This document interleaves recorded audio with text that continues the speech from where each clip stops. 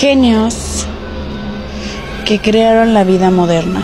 De seguro has llegado cansado de trabajar y lo único que has querido es ver tu programa favorito. Así que solo cambias la televisión sentado desde tu sofá.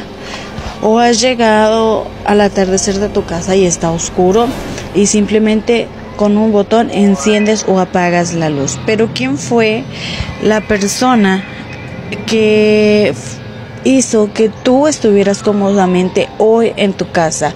¿Quién fue la persona que creó el siglo XX con todas sus luces, con todos sus destellos? ¿Quién fue ese visionario que pensó y que te imaginó a ti sentado en tu casa, disfrutando de todas esas comodidades sin que aún todavía existieran? ¿Quién fue esa persona que no dijo, así son las cosas? vivamos nada más, sino esa persona que dijo, yo quiero algo más, yo espero algo más de el futuro y va a cambiar la vida de todos para bien. Voy a entregarle recursos naturales gratuitos, voy a entregarle todo lo que yo sé para el bien de la humanidad y para la paz misma de todo el mundo.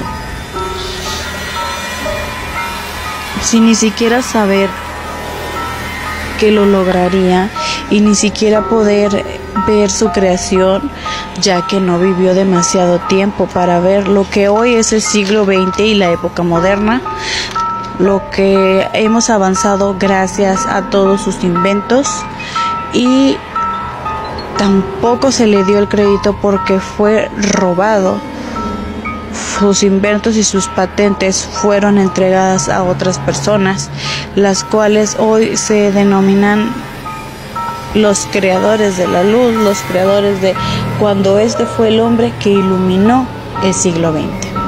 Hoy vamos a hablar de Nicolás Tesla y de todos sus inventos, los inventos que hoy en día son los que están revolucionando el siglo XX y los que son el que es creador de que tú estés ahorita transmitiendo, conectado, gracias a las bases que Él nos dejó.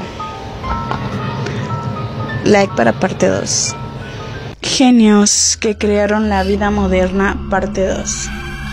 Porque cada cabeza de un inventor, sus creaciones existen y aunque físicamente no estén aquí, la función de ellos es materializarla. Así que a Tesla le costó mucho tiempo tratar de materializar sus inventos y también mucho dinero.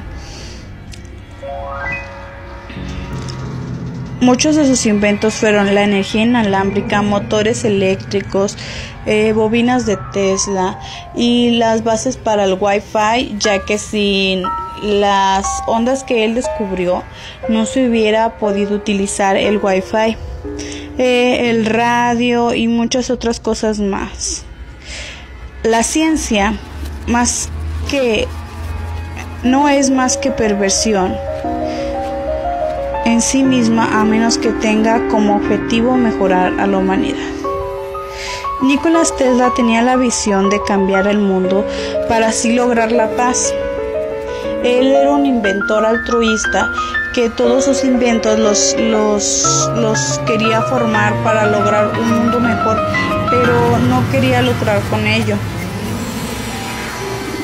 Él simplemente hacía sus investigaciones y vendía patentes para poder seguir con sus investigaciones y poder crear sus nuevos inventos. Hoy en día otros se llevan el crédito que él debe haberse llevado ya que muchos de sus descubrimientos pues fueron robados eh, y muchas veces a Tesla se le llamó excéntrico, se le llamó loco por todas las cosas que hacía y por todas las cosas que en realidad eh, la gente decía que no iba a funcionar. La gente no le creía o al menos eso pretendía no creerle para darle y quitarle el crédito y así poderse quedar con sus con sus inventos.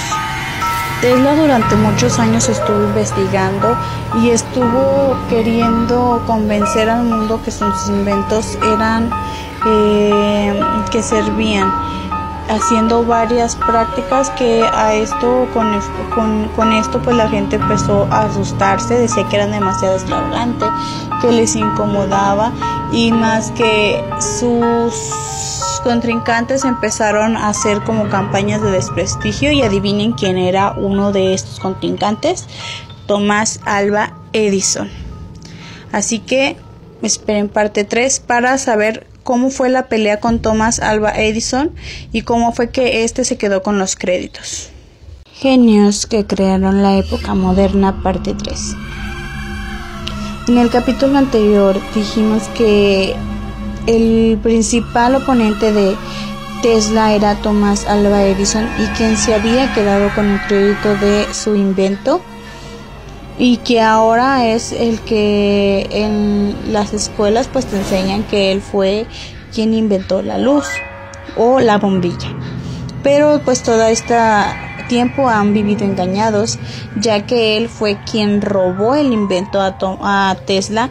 ¿Y cómo se logró esto? Tesla entró cuando era joven a trabajar ni más ni nada menos que con Tomás Alba Edison. Entonces, Tomás Alba Edison, pues al ver que él tenía mejores ideas y que tal vez podría ser su competencia, trató de desacreditarlo, diciendo que sus inventos no servían y diciendo que todos sus inventos eran peligrosos para las personas. Tomás Alva Edison decía que la corriente continua era la mejor para utilizar y desarrollar eh, para el bien de, la humanidad en ese entonces y Tesla proponía que la corriente continua era mucho mejor. Y pues claro, la corriente continua es lo que utilizamos ahora en día.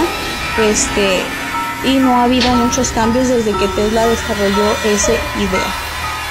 Eh, Tesla trató de seguir con sus inventos y así que es con el tiempo eh, y con mucho esfuerzo y trabajo eh, construyó su propia fábrica donde desarrolló varios inventos y tuvo varias personas que creyeron en él, personas que, que lo apoyaron y que con sus aportaciones lograron que Tesla desarrollara mucho más inventos.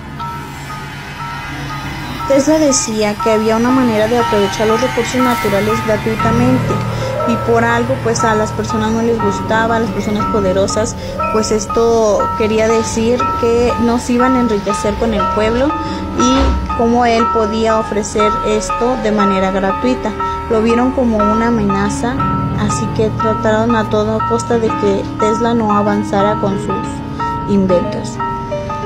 Tesla era un amante de la ciencia y era un filántropo quien solamente quería hacer sus inventos para el bien de la humanidad. Él creía en crear un mundo diferente que base a la ciencia y con sus inventos se formara la paz y las personas ya no pelearan.